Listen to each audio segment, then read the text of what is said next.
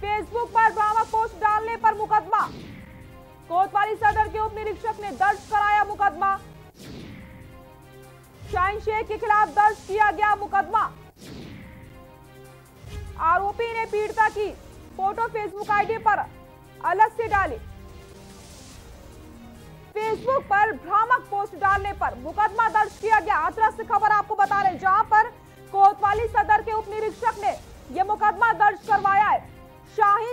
के खिलाफ दर्ज किया गया है मुकदमा। आरोपी ने पीड़िता की फ़ोटो फेसबुक आईडी पर अलग से डाले। फेसबुक पर भ्रामक पोस्ट डालने पर यह मुकदमा दर्ज हुआ है। हाथरस से खबर आपको बता रहे हैं, जहाँ पर कोतवाली सदर के उप निरीक्षक ने मुकदमा दर्ज करवाया है। शाहीन शेख के खिलाफ दर्ज किया गया मुकदमा। आरोपी ने पीड़िता के फ़ोटो फेसबुक आईडी पर अलग से डाले। फेसबुक पर भ्रामक पोस्ट डालने पर मुकदमा। कोतवाली सदर के उप निरीक्षक ने दर्ज करवाया मुकदमा।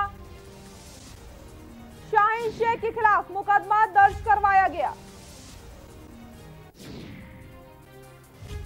हाथरस से खबर आपको बता रहे हैं जहाँ पर। फेसबुक पर भ्रामक पोस्ट डालने पर मुकदमा।